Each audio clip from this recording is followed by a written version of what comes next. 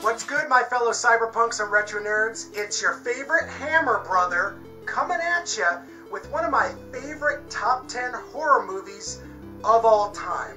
Today, we're going to be checking out the early 1960s French horror film Eyes Without a Face. And I absolutely adore this movie. It's one of my favorite horror movies of all time. And uh, mainly because it's just so subtle, beautiful, and poetic. It's great. I love it. I'm stoked to be talking to you guys about it. Mainly because I know some of all y'all have never seen it, and if you plan on, obtaining it, then you, my friend, are in for a treat. So without further ado, I'm going to go check out the flick. When we get back, discussing none other than Eyes Without a Face. Cheers.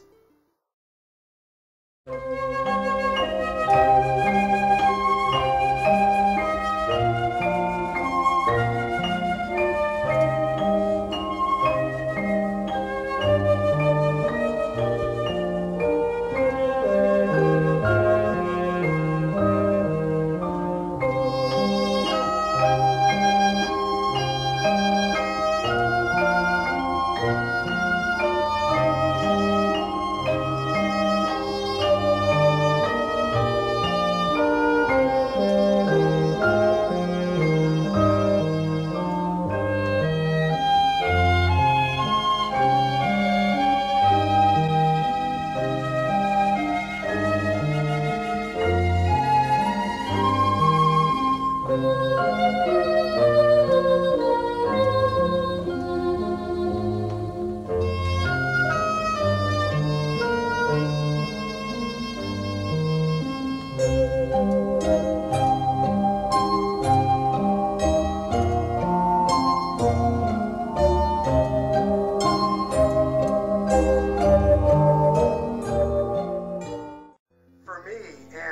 personally speaking, it's always a pleasure revisiting this movie.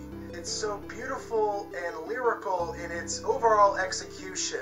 One other thing that I want to talk about with this movie is uh, its overall presentation. Yes, it's filmed in black and white. And I do realize that a lot of uh, youth culture today is kind of put off by movies that are filmed in black and white. And you know, I you know, I'm sure I've talked about this in a few of my other videos, but I kind of wanted to address it here.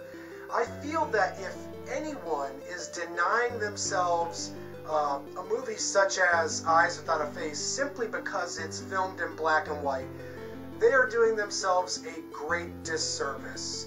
Um, films like this and uh, George Romero's Night of the Living Dead, they're prolific horror films, popular horror films, and significant pieces of modern day art culture that deserve to be viewed uh, time and time again over the decades.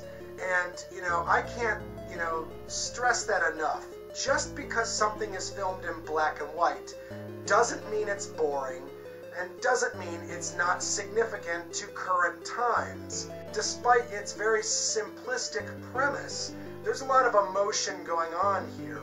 Actors and the music and the cinematography all pull together a singular, omnipresent, and haunting horror film. I love this movie so much, and uh, I highly recommend it, guys. Out of 10 stars, this is a rare one. This is a 10 star film. And if you've never seen it and you're looking for a prolific horror movie that was filmed in black and white, then you can't go wrong with this one, guys. Check it out.